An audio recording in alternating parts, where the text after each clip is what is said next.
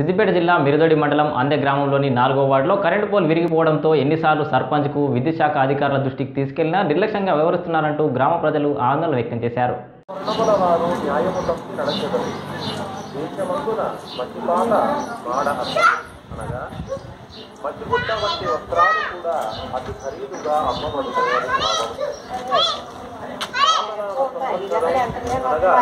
పంతొమ్మిది వందల తొంభై ఏడవ సంవత్సరంలో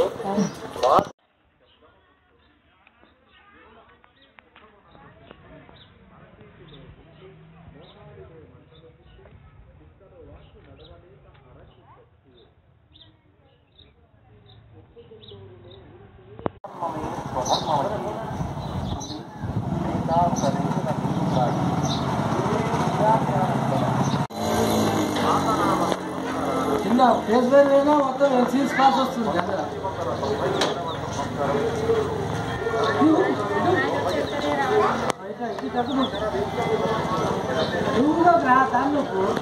మా ఇంటి ముందు పోలి ఇరిగిపోయింది హనుమగొండ నారాయణ నేను. మా ఇంటి ముందర పోలి ఇరిగిపోయింది. సర్పంచే కానీ ఎవరైనా దయచేసి చెప్పని చేయగలరు.